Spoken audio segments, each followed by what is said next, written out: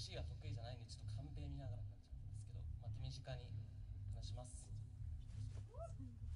ちのサークルの概要とかその売りとかはこの後まあトモカーンとかこの後のファンクとファンクポップス企画のバンマスにちょっと任せます。でじゃあ僕がちょっとこのライブで言いたいことっていうのは言いたいことっていうか伝えたいことっていうのはその楽器の経験未かサークル音楽がすごく好きで向上心のある人たちがすごい多いんですけど、まあ、そういそういった人たちと活動してると音楽性とかあと演奏に対する姿勢とか影響は必ず受けます。僕もこのサークルに入って、えーまあ、シン一番好きな音楽とかはぶれないんですけど高校とかに比べていろんな音楽聴くようになったし真面目に演奏しなきゃなって思うようになりました。演奏に対して真剣に考えるようになりました。大学生活でサークルって第一でないにしてもこの恵まれた環境にいる以上、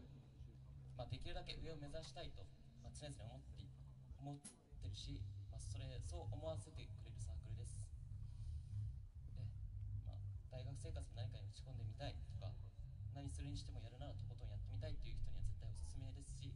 なんかコンパとか行ってなんかあこのサークル雰囲気いいなって思ったら、まあ、それだけでも全然大歓迎なので、まあ、ぜひ前向きにご検討よろしくお願いしますということで。はい。